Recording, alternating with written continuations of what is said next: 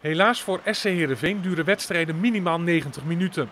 Want als dat niet het geval was geweest, zouden de Friesen vier punten meer hebben overgehouden aan de groepsfase van de Europa League.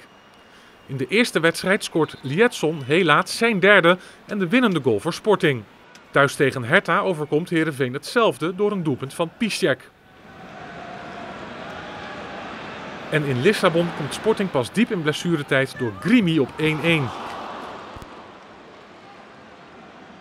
Ondanks de fraaie openingsgoal van Oussama Assaidi wint Heerenveen dus niet in de Portugese hoofdstad.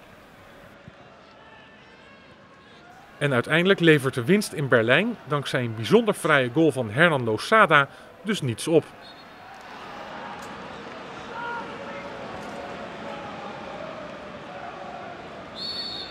Thuis tegen Ventspils is er nog een minimale kans op overwintering. Bij rust is het nog 0-0, maar in de tweede helft slaat Heerenveen toe. Roy Berends is de grote man. Hij levert de assists bij drie van de vijf doelpunten. Victor Elm, Gerald Sibon en Daryl Janmaat kunnen profiteren van het voorbereidende werk van Berends. Ondanks de 5-0 overwinning is het Europese avontuur ten einde. Het scorebord geeft het aan. Sporting heeft in Berlijn verloren van Hertha. Ik denk dat we iedereen wel over eens is dat we dat zelf een beetje weg hebben gegeven. En dat wij uh, misschien wel uh, de sterkste ploeg waren in deze pool. Alleen, uh, ja, als je drie keer laatste minuut vier punten weggeeft, dan, dan ben je misschien ook niet de sterkste in de pool. En dat is uiteindelijk gebleken. Goede resultaten in Europese uitwedstrijden worden stevast gevolgd door matige prestaties in de competitie. Drie dagen na het gelijke spel tegen Ventspils komt VVV in de 88ste minuut op voorsprong in Heerenveen. Dankzij een hoogspringende Tsjech houden de Friese toch nog een punt aan het duel over.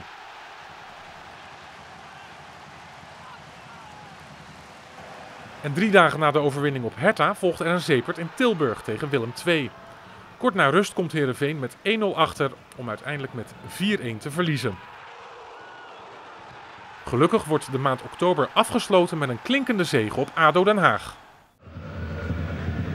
Daar is Berens. Berens die gaat uh, scoren. Ja natuurlijk, wat een fout daar achterin.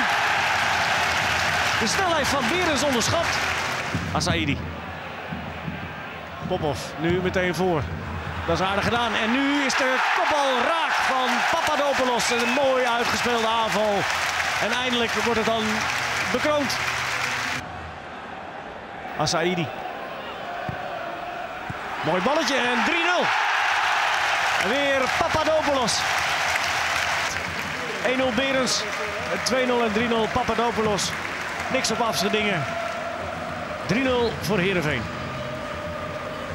Na de 1-0 uh, uh, zie je van de groep iets afvallen. En uh, dus we kunnen dat altijd proberen goed te praten. Hè. Van, vanzelf komt het wel, maar die goal moet uiteindelijk wel een keer vallen. Nou, die viel dan nu doordat we er goed druk op zetten en het wordt 1-0. En dan zie je ineens dat onze ploeg fantastisch kan voetballen. Berens, ja die kan het ook met links. Goede voorzet en de goal voor Heerenveen. Victor Elm profiteert van een hele fijne voorzet van Roy Berens. En de Friesen staan op voorsprong in Utrecht. De ruimte is daar bij Berens. Berens en dan is het raak. Papadopoulos, daar is hij weer met zijn doelpunt.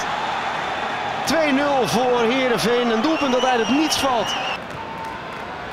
Berens Helemaal vrij weer en goed gegeven. En dan is het simpel scoren voor Papadopoulos. Goed voor de goal gekomen. Het is raak voor Utrecht.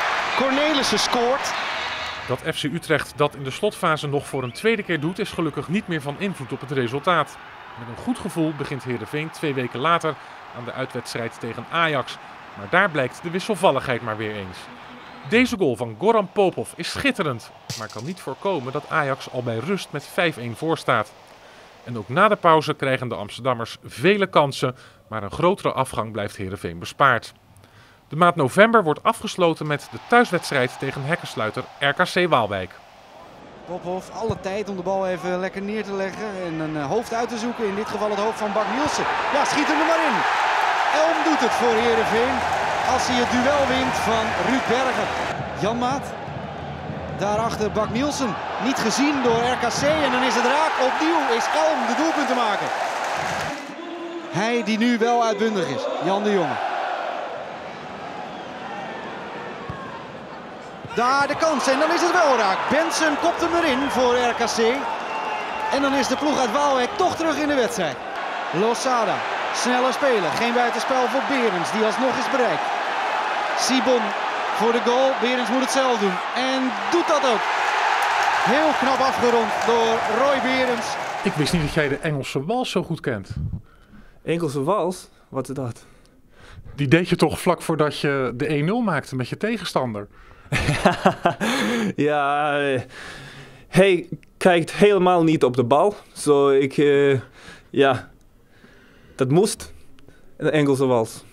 Ja, armen om elkaar heen en dan ben jij de slimste, hè? Ja.